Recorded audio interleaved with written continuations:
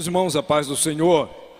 Aproveitando que os irmãos estão de pé, abramos as nossas Bíblias, primeira epístola do apóstolo João, capítulo 1, e leiamos a palavra de Deus. Jesus está nesse ambiente. Eu vou repetir: Jesus está nesse ambiente. Tem coisa grande nessa noite para a minha vida e para a sua. Tem cura, tem milagre, tem restauração.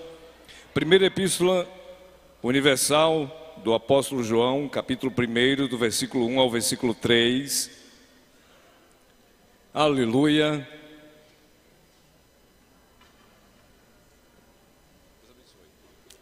Primeira Epístola Universal do Apóstolo João, capítulo 1, versículo 1 ao 3.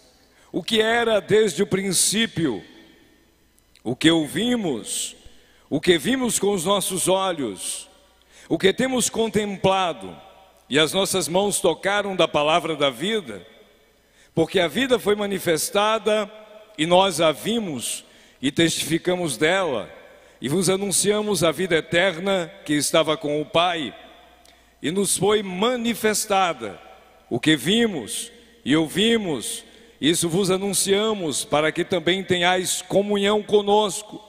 E a nossa comunhão é com o Pai e com o Filho Jesus Cristo. Repita comigo. E a nossa comunhão é com o Pai e com seu Filho Jesus Cristo. Amém. Podeis assentar. Quero agradecer a Deus por essa oportunidade tão rica, tão maravilhosa de estar aqui outra vez, agradecer a Deus pela vida desta igreja. Quero cumprimentar o meu pastor, pastor Josué Brandão. Cumprimentando, eu, estendo a saudação a todo o corpo ministerial. Agradecer por esse momento tão digno de glória ao nosso Deus. Pastor, obrigado pelo convite. Obrigado por nos convocar e estar aqui nesse primeiro dia do Mais Jesus Intimidade não é fácil, viu? As pernas estão geladas, coração está acelerado, mas Jesus está na casa. Aleluia. Meus amados irmãos, mas Jesus Intimidade tem mudado a vida e a história de muita gente. Eu vou repetir. O Mais Jesus Intimidade tem mudado a história e a vida de muita gente. Quem congrega nessa igreja sabe disso. Quem visita essa igreja sabe. Quem acompanha pela internet sabe. Quem mora no Brasil sabe. Quem mora no exterior sabe. Às vezes, os encontros, os congressos, os seminários, mais Jesus Intimidade, tem sido um divisor de água na vida de muita gente. Isso porque Jesus trouxe ao coração do nosso pastor essa, essa festa, esse evento, esse congresso ou esse seminário, e o Senhor tem trazido aos nossos corações, a cada vez que acontece o Mais Jesus Intimidade, milagres acontecem, curas acontecem, restauração, transformação, e nessa noite nós já temos visto e sentido a presença do nosso Senhor Jesus Cristo neste lugar. E eu quero nesse instante, com a permissão do Espírito Santo, trazer aos nossos corações, trazer aos nossos ouvidos, uma palavra que o Senhor me deu, uma palavra que o Senhor me trouxe, e nós precisamos compartilhar desta palavra. Portanto, eu quero chamar a sua atenção, você aqui no templo, e você em casa que acompanha a transmissão. O nosso desejo é que o Espírito Santo venha fazer algo glorioso nas nossas vidas, e eu quero nesse instante te garantir: Jesus tem todo poder. O que eu vou falar aqui não é nada de novidade, mas eu gostaria de dizer o quanto Jesus é bom. Eu gostaria de te dizer que Jesus é o Filho de Deus. Eu vou repetir: Jesus é o Filho de Deus. Jesus é o Salvador do mundo. É aquele que perdoa pecados. é aquele que restaura vidas, é aquele que do nada ele faz tudo, é aquele que pega o homem aflito e dá a ele a solução da sua aflição, é aquele que tem resposta para as tuas dúvidas, é aquele que pode pagar as tuas dívidas. Aliás, ele é especialista nisso. Tetelestai, está consumado. Ali na cruz, aos olhos da fé, nós podemos perceber que é como se tivesse uma placa bem grande dizendo o seguinte: está rasgada a duplicata da vida de José. Mas você vai citar o seu nome, tá? Você vai citar o seu nome. Eu vou dizer e você vai dizer o seu nome, a sua duplicata está paga rasgou-se. Jesus rasgou a duplicada da sua dívida na cruz do Calvário. Estou falando da dívida que Adão contraiu lá no princípio. Estou falando da dívida que Adão contraiu lá no Éden, que passou por toda a humanidade, mas quando chegou no Calvário, a história foi mudada. Então, enquanto Jesus estava sendo crucificado, enquanto o mundo local esperava que tudo ali se acabasse, Jesus então diz: Pai, está consumado, tetelestai. Sabe por quê? A duplicata de José foi rasgada. Você vai dizer o seu nome, vamos lá? A duplicata de José foi rasgada. Uh! Aleluia! Jesus pagou a tua dívida, você não deve mais nada. Você agora é salvo, liberto pelo sangue de Jesus. Queridos, o texto que nós lemos é um texto bastante conhecido da igreja. Esse texto foi escrito por João, o mesmo que escreveu o evangelho que leva o seu nome. Aliás, ele escreveu o evangelho, ele escreveu as três epístolas e também o Apocalipse. Eu quero dar um título a essa, essa reflexão nossa. O título é o seguinte: João, um apóstolo diferente. Esse é o título da nossa reflexão. Um apóstolo diferente.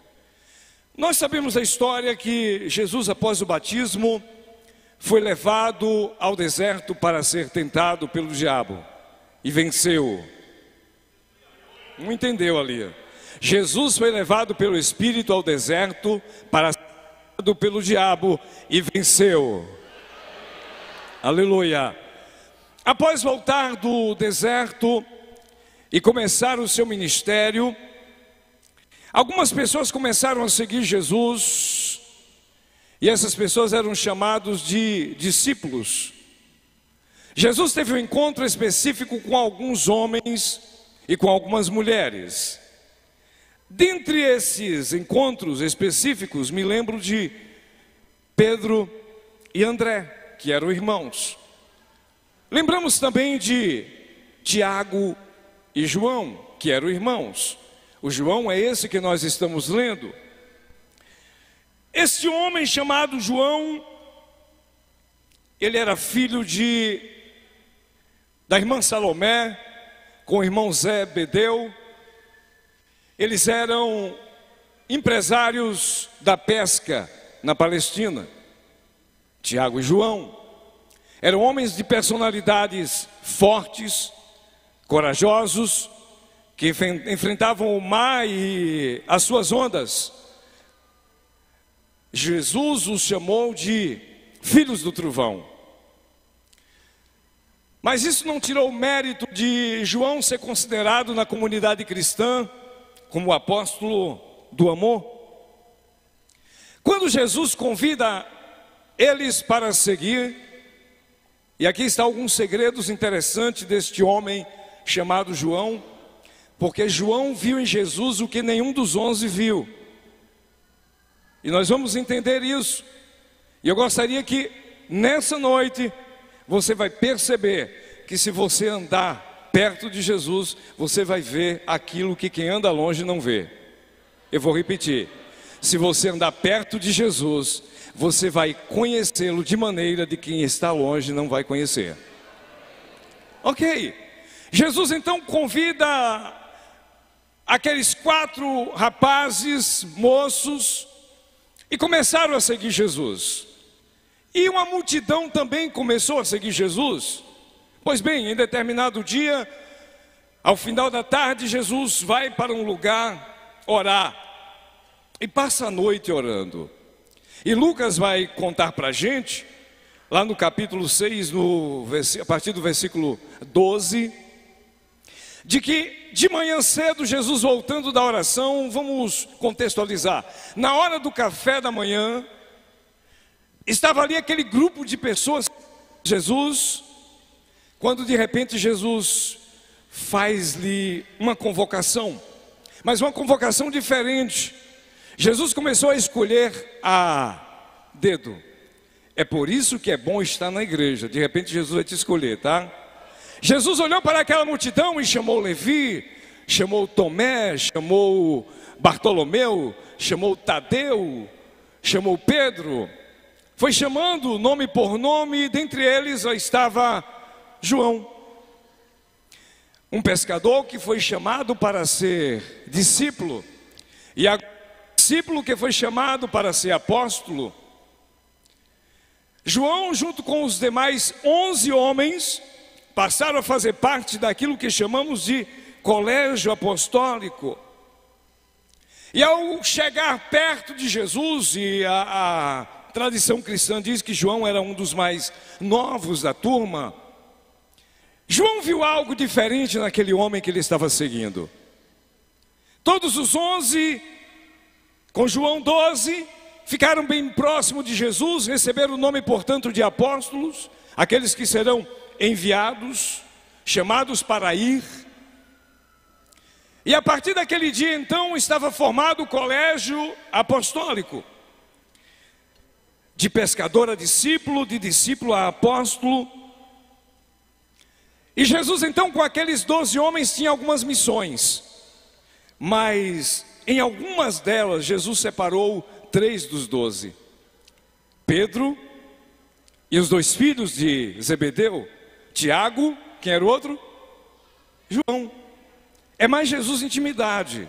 Eu quero que você entenda quando uma pessoa resolve ter intimidade com Jesus, o que acontece com ele. E aqueles três moços ficaram mais perto de Jesus. Aqueles três moços estavam na casa, ou melhor, no quarto de Jairo, na ressurreição da filha de Jairo. Aqueles três rapazes estavam com Jesus no Getsemane, no momento da agonia de Jesus. Aqueles três rapazes também estavam com Jesus no Monte da Transfiguração. Mas há dois episódios na Bíblia que nos chamam a atenção. Não esqueçam desses três nomes: Pedro, Tiago e João. Eram doze, mas esses três estavam bem próximos de Jesus. Mas desses três, João se destacou. E um certo dia, quando celebrava a Páscoa, houve mais duas celebrações naquela noite: a Páscoa, a Santa Ceia e a cerimônia do lava-pés. E quando Jesus começou a falar que um dos doze havia de trair, eles começaram a perguntar uns aos outros a Jesus assim: Por acaso sou eu, Senhor? Por acaso sou eu? Quando de repente Pedro hum, dá uma olhada e vê João reclinado no peito de Jesus. E aí Pedro então chega próximo de João, pergunta quem é. Mas teve um outro episódio que você vai encontrar João bem próximo de Jesus. João não se importou com o que iam dizer, João não se importou com o que iam falar, simplesmente ele decidiu andar lado a lado com o Mestre Jesus. Ele estava vendo algo diferente naquele homem. Pois bem, e aí, quando no outro episódio você vai encontrar João aos pés da cruz, lá não estava Pedro, pastor Josué, lá não estava Tiago, lá não estava Bartolomeu, nem Tomé, mas João estava lá. Lá estava a mãe de João, a irmã Salomé, que a tradição cristã diz que conta que ela era irmã de Maria, a mãe de Jesus, prima, portanto, de Isabel. Então João vinha de uma linhagem de parentesco com o mestre, mas não foi isso que ele viu. Lembra que certo dia Jesus, olhando para os seus doze, fez uma pesquisa? E a pesquisa era, a pergunta, a enquete era essa: O que é que vocês estão ouvindo a respeito de mim esses dias aí? E um disse assim: Mestre, estão dizendo que o senhor é Jeremias, estão dizendo que o senhor é Isaías, estão dizendo que o senhor é Elias, estão dizendo que o senhor é um dos profetas que ressuscitou. Bom, mas vós, quem dizeis que eu sou? Ah, naquela hora o Espírito Santo, o próprio Deus, coloca no coração de Pedro e Pedro abre a boca e diz: Tu és o Cristo, o Filho do Deus vivo. Foi uma revelação. Mas enquanto isso, você não vai encontrar na Bíblia em lugar nenhum João questionando nada. João estava calado ao lado de Jesus, prestando atenção a tudo. Tá bom, acabou-se tudo, Jesus morreu, ressuscitou. João foi um dos primeiros a correr no túmulo. Presta atenção. Jesus foi assunto ao céu, a igreja foi inaugurada no dia de Pentecoste, foi aquele poder, foi aquela glória. O Espírito Santo desceu, começaram a falar em outras línguas, a Jerusalém inteira ouviu aquele barulho. Pedro pregou, quase três mil almas aceitaram, e até aí você não vê João comentando nada. Ok, mas não se esqueça: João andou com Jesus. Enquanto Tomé duvidou, enquanto Tomé perguntou para onde é que eles iam, enquanto Pedro questionou o que ia fazer do futuro, João estava reclinado ao peito de Jesus. Olha para o seu irmão e diz: Vale a pena andar com Jesus? Ok. A igreja então foi sendo expandida e chega uma perseguição lenta do império na época e João foi obrigado a fugir. João partiu para Éfeso. Agora a gente começa a entender: de pescador a discípulo, de discípulo a apóstolo, de apóstolo a pastor. João começou a pastorear algumas igrejas e agora ele passa de pastor a escritor. Intimidade com Jesus leva, eleva você de nível. Alguns entenderam do lado de lá, ó. Intimidade com Jesus te eleva de nível. Grava isso. De pescador a discípulo, de discípulo a apóstolo, de apóstolo a pastor, de pastor a escritor. Ah, mas João não escrevia qualquer coisa, não. Lembra do evangelho que levava o seu nome? João começou a escrever o seu evangelho e primeira, as primeiras linhas do evangelho de João diz assim: No princípio era o verbo, e o verbo estava com Deus, e o verbo era Deus. A quem João está se referindo? Ah, dava um coro muito bonito, pega isso. A quem João estava se referindo? para ensaio foi nota 3. A quem João estava se referindo? Ok, mas quem disse isso a João? O andar com ele fez João entender quem era aquele mestre. O reclinar o peito e escutar as batidas do seu coração, João disse: tem algo diferente neste homem.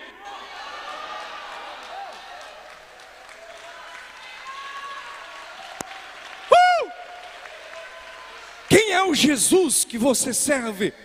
É o mesmo que João conheceu, de andar com ele? Ou é o da religião que te disseram, morreu? Não, é o que nós cremos, é o que ressuscitou, é o que foi assunto ao céu, é o que vai voltar para buscar a igreja, é o que está aqui nesta noite, é o que vai curar, é o que vai restaurar, é o que vai batizar com o Espírito Santo, é o que vai dar jeito na tua, no teu problema.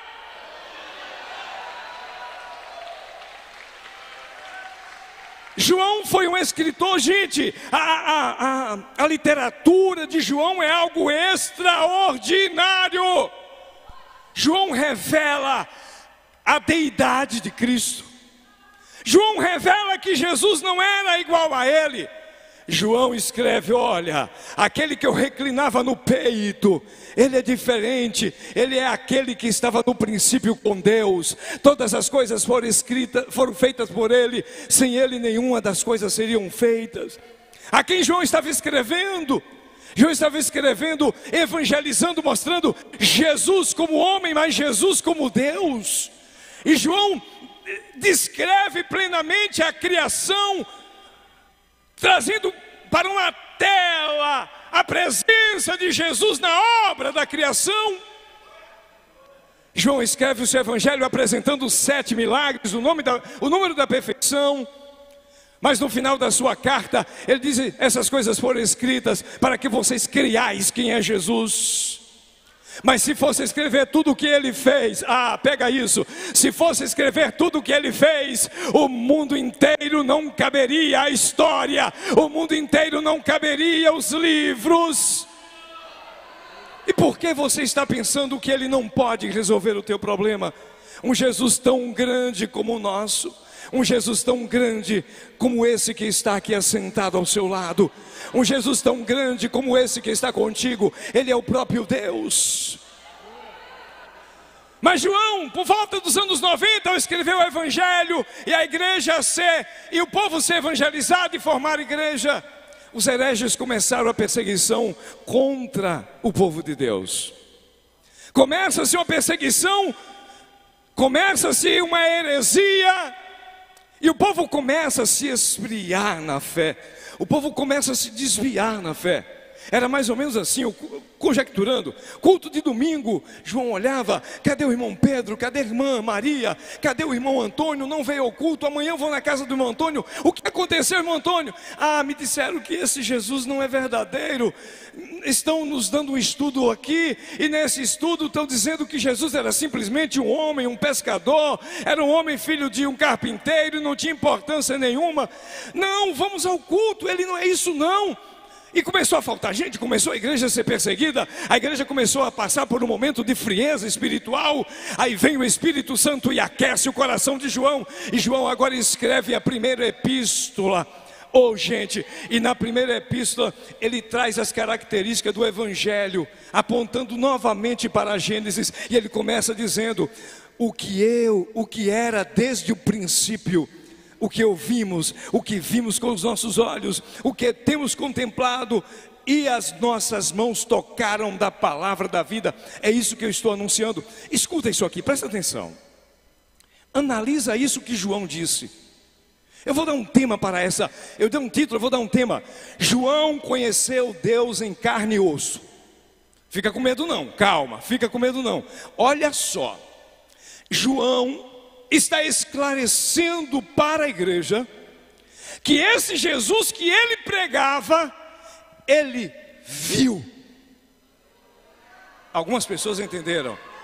O Jesus que ele estava pregando de salvação, ele viu. O Jesus que ele estava pregando, o Jesus da igreja, ele ouviu. Mas o Jesus que ele estava pregando, ele tocou, ele pegou, era de carne e osso. O Verbo se fez carne e veio a esta terra. Uh! Aleluia! João viu Deus em carne e osso. Deus encarnou-se e veio. Para que Deus veio? Para libertar uma humanidade perdida, escravizada pelo pecado, escravizada pelo diabo Deus veio para pôr em liberdade os cativos e oprimidos, aqueles que estavam com os passos largos para o inferno, para dar liberdade e caminho para o céu. Quem tem essa certeza, levante a sua mão e glorifique a Deus. Uh! Não, João não estava falando de alguém que morreu e acabou. João não estava falando de alguém que desceu voando do céu, passou os dias na terra, não fez nada e sumiu. João estava falando, ele curou, ele ressuscitou mortos, ele restaurou vida aos, vista aos cegos, ele fez aleijado andar. Ele está aqui nessa noite para curar. Se você está enfermo, creia, Jesus está aqui. Aleluia! João viu Deus em carne e osso. E quando João ensinava sobre estas coisas, Quando João pregava sobre essas coisas, é como se ele tivesse tido a, a, revelação por ter andado perto de Jesus. É como se ele tivesse vivido e sentido. Ah, o olhar de Jesus era diferente. É como se ele tivesse dito, a voz dele também era diferente. É como se ele estivesse dizendo assim: ah, mas as batidas do coração dele também era diferente. As batidas do coração dele era com amor e com perdão. O olhar de Jesus era com misericórdia. A vida de Jesus era o próprio Deus na terra, levantando o caído, dando vida a quem já não tinha mais vida. João escreveu sobre o próprio Deus tanto no seu evangelho quanto na sua epístola, para dizer para nós nesses últimos dias: continua, prossegue, caminha, anda lado a lado com Ele. Eu sou testemunha do que Ele fez. Eu vi, eu ouvi, eu peguei. Era Ele, Ele ressuscitou, Ele está vivo. Permanece na caminhada. Aleluia! João, João teve intimidade com o Mestre. João cochichou.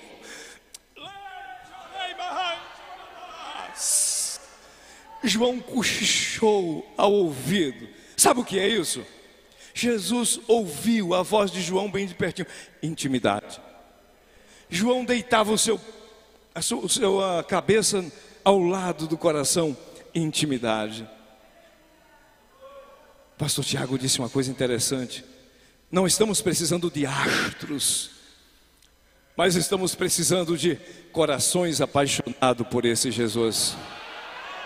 Corações apaixonados por esse mestre da Galileia, por esse que transforma, por esse que regenera, por esse que está convidando. Mas sabe por que João teve uma vida dessa? Porque andou com Jesus. Não, não acabou aí não. João ficou bem velhinho. João ficou bem velhinho. E estando bem velhinho, João foi levado para uma ilha. João foi preso por pregar o Evangelho. E aí vem uma das maiores grandezas de Deus. Por João ter andado com Jesus, Jesus precisava de alguém para revelar o futuro, Jesus precisava de alguém para contar a história, Jesus precisava de alguém para mostrar o céu, Jesus precisava de alguém para mostrar a terra, Jesus precisava de alguém para mostrar a sua vinda. E lá um dia está João na ilha de Pátimos, preso, sofrendo, triste, mas Jesus lembrou: Ele andou comigo. Ele andou comigo. Quando de repente João viu alguém se aproximando atrás dele, quando ele olha, ele disse: Eu tremi, eu caí seus cabelos eram brancos, seus olhos como chama de fogo. Aleluia! Jesus, Jesus mostrou a João aquilo que havia de acontecer. Se na sua Bíblia tem o um Apocalipse, foi porque Jesus revelou a João. Se Jesus revelou a João, é porque João tinha intimidade com Jesus. Aleluia! Nós estamos ouvindo nesses últimos dias muitas pregações, muitas mensagens de efeito, e tem muita, muita gente dizendo que acabou, que a igreja esfriou, que a igreja não tem mais jeito mas tem um povo que ainda anda com Jesus, tem pastores que andam com Jesus, tem crentes aqui que andam com Jesus, tem uma juventude que anda com Jesus, e quem anda com Jesus, mesmo sendo fraco, mesmo sendo miserável pecador, Jesus não abandona, Jesus traz revelações, Jesus traz a sua presença, Jesus faz coisa grande, o que ele está precisando nesses últimos dias é apenas de alguém que ande com ele.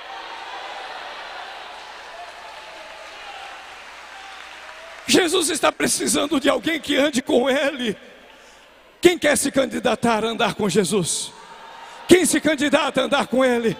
Quem quer ter novas experiências? Quem quer sentir a presença dEle enquanto dorme? Quem quer sentir a presença dEle enquanto trabalha? Quem quer sentir a presença dEle enquanto canta? Quem quer sentir a presença dEle enquanto está na igreja? Quem quer sentir a presença dEle enquanto está na rua? Quem quer sentir a presença dEle enquanto está no mundo? Antes que Ele volta, aleluia, anda lado a lado com Jesus. A diferença de João para os demais Não foi mérito de João, mas foi por João se aproximar de quem tem todo o poder. João se aproximou dele, de Jesus. João poderia ter andado com Pedro, João poderia ter andado com seu irmão Tiago, mas ele foi muito feliz. Os três andavam juntos com Jesus e João estava no lado a lado com Jesus. Quando sentavam à mesa, ele não só sentava do lado, ele deitava no colo do Mestre. Aleluia! A igreja está atravessando um momento difícil na terra, é verdade. Tem frieza, tem, tem início de perseguição, tem. Mas deixa eu te trazer a palavra profética. Fica com medo, não. Sabe por quê? Porque Jesus não vai perder para o diabo a igreja vai continuar marchando, a igreja vai continuar caminhando, a igreja vai vencer, a igreja vai vencer, até chegar a hora da igreja subir, porque ele vai voltar. Aleluia! Adora o Senhor, adora o Senhor. É mais Jesus intimidade. O que é que tu está precisando, ó homem? Quando a dúvida chega ao teu coração, se aproxima dele que ele tem resposta. O que é que tu estás precisando, a mulher? Quando as lutas chegam na tua casa, quando as portas começam a fechar, quando a dispensa começa a ficar vazia, o mestre chegou na tua casa, e quando o mestre chega, a solução também chega. Existem promessas proféticas para uma igreja brasileira cheia de poder, e eu creio que vai começar por aqui. Não porque esse povo é mais bonito do que os outros, não, mas porque tem gente andando com Deus. E João então diz: Eu não estou falando nada de diferente, eu estou dizendo a vocês o que eu vi, o que eu ouvi e o que eu toquei eu vi Deus através de Jesus. É isso que João está dizendo. E nós precisamos ter esse mesmo testemunho de João. Nós precisamos lembrar de que o que Jesus está esperando, enquanto talvez você espera o avivamento, é Jesus que está esperando o avivamento em você. Enquanto você está orando e dizendo, aviva, Senhor, a tua obra, Jesus está dizendo, abre o teu coração e deixa eu fazer. A diferença está nisso. É andando com Ele que você se enche da glória. É andando com Ele que o Espírito Santo te renova. É andando com Ele que o Espírito Santo te capacita. Ei, e não tem problemas difíceis para Ele, não. Eu não sei o que você está passando. Eu não sei qual é a tua situação aqui hoje. Mas o Mais Jesus Intimidade dessa edição vai mudar a tua história vai mudar a tua vida, vai mudar a tua caminhada, vai mudar a tua família, vai mudar a tua empresa, vai mudar os teus negócios, vai mudar a história de Feira de Santana, vai mudar a história da Bahia, vai mudar a história do Brasil e a história de muitos ministérios. A partir de quando? A partir do momento que nós percebermos que há uma necessidade de andar perto de Jesus, escolher andar perto do Mestre. Andavam os três, mas João foi mais além. João quis recostar o seu, sua cabeça no ombro. Andavam os três, mas na crucificação lá estava o menino João Jesus olhou e disse: João, olhou para Maria e disse: Mulher, eis aí o teu filho. Filho, eis aí a tua mãe. João teve o privilégio de estar ali, mas João também teve o privilégio de entrar, de ir ao sepulcro e ver que o Mestre tinha ressuscitado. O que é que você está precisando nesses dias? É de avivamento? É de renovo? Eu sei que você está passando por uma aflição muito grande. Quantas pessoas têm nos procurado, procurado os pastores, e a palavra é essa: eu não sei o que está acontecendo, eu tenho sentido desânimo, eu não tenho conseguido sentir Deus, eu não tenho conseguido sentir a presença dEle. Ah, não permite que os entretenimentos desse mundo, desse mundo tire o seu foco de andar com Jesus, porque nada tirou o foco de João em andar com Jesus. Nem os próprios doze, os onze, nem os onze apóstolos. João não estava nem aí se alguém dizia que, que, que, ele estava próximo. Ele recebeu até o título de o discípulo a quem Jesus mais amava. Você quer receber esse título? A pessoa a quem Jesus mais amava, Ele está te dando nessa noite. Você é amado por Ele. Foi por você que Ele morreu na cruz para te salvar. Foi por você que Ele se entregou no Calvário. Mas Jesus Intimidade está te convidando para um novo tempo, um tempo de renúncia, um tempo de ser crente, um tempo de viver o fervor da palavra, um tempo de viver o novo de Deus. Jesus veio para todos os doze que estavam ali. Jesus estava pronto a, a, a viver isso com qualquer um, mas apenas João soube discernir quem era aquele homem. Você vem ao culto, você volta para casa e você continua o mesmo. Você evangeliza, você prega, vidas se convertem, Jesus batiza com o Espírito Santo e você continua o mesmo. E aí você, aí bate o desânimo, bate a tristeza, bate a dor, bate o medo. O que é que está acontecendo? Simples. Se aproxima do mestre, que ele não vai deixar o teu coração vazio se aproxima do Mestre, que Ele não vai deixar você com essa tristeza. Eu sei que nesse momento Deus vai fazer algo extraordinário nesse lugar. Aqui entrou pessoas de todos os jeitos, nesta noite, de todas as formas. Teve pessoas que vieram aqui pelo convite de alguém. Olha, o Mais Jesus Intimidade vai começar domingo. É, eu vou lá. Mas tu vai sair daqui diferente hoje porque o mestre dos milagres está aqui. Talvez você diga: não, não tem mais jeito, não. Desde eu, eu nasci na igreja e eu não sinto mais nada. Minha vida está uma esponja seca. Ele vai encher. Ei, deixa eu falar com vocês. Enquanto cantávamos, eu não vi, o meu coração fez perceber um rio que jorrava nesse corredor. Eu não vi, foi o meu coração quem viu. E na hora eu tremi de alegria, por perceber que chegou. Jesus vai saciar a tua sede. Jesus vai imergir algumas pessoas nesse rio. Jesus vai matar a sede de outros. Jesus vai curar a dor de outros. Fica de pé, por favor.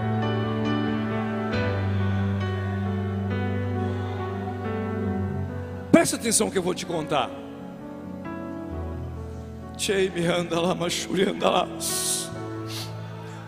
Um certo jovem, Tiago, permita-me chamar assim, Tiago. Um certo jovem estava passando por um momento de frieza espiritual terrível.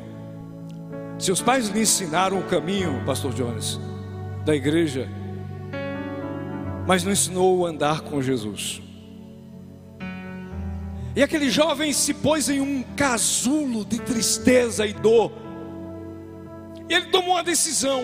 Ele ouviu falar de um determinado líder cristão que morava em umas montanhas. E ele foi até lá. E quando ele chegou naquela casa, ele procurou aquele líder. Ele pediu orientação. O que eu faço? eu encontrar Jesus. Porque eu vou à igreja e volto a mesma coisa. Eu vou aos cultos e não sinto nada. E aquele senhor levantou da cadeira, abriu uma porta e fez sinal com a mão. E aquele jovem acompanhou. E andaram caminhos e caminharam e caminharam. Um silêncio terrível tomou conta daqueles dois até que chegaram à margem de uma praia, e aquele senhor mestre pisou nos pés na água da praia e chamou aquele jovem. E ele desceu junto com aquele líder. E ele foi andando. E ele foi andando. E foi caminhando. E a água foi dando no joelho, na cintura, até que chegou nos peitos.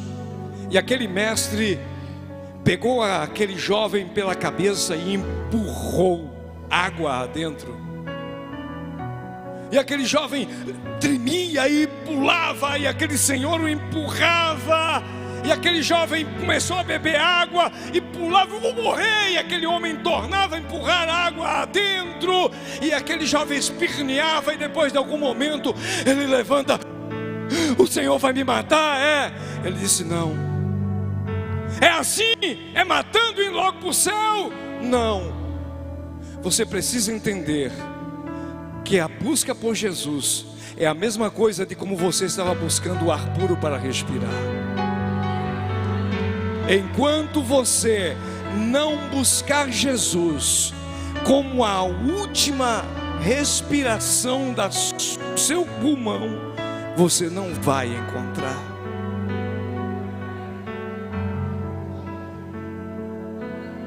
Chega aqui, Tiago, por favor.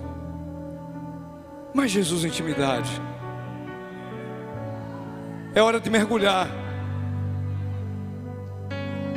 O rio está aqui. Você vai perder a oportunidade de vir? Pode vir, pode começar a vir. Pode começar a vir. O rio está aqui. Está vazio meu coração, pastor. Vem. Estou triste. Vem. Estou doente. Vem. Não tenho mais fé. Vem. Deita, ajoelha, fica em pé, pula, chora. Aproveita o rio. Tem uma multidão precisando desse rio aqui, ó. O rio está correndo. O rio está correndo aqui. Vem.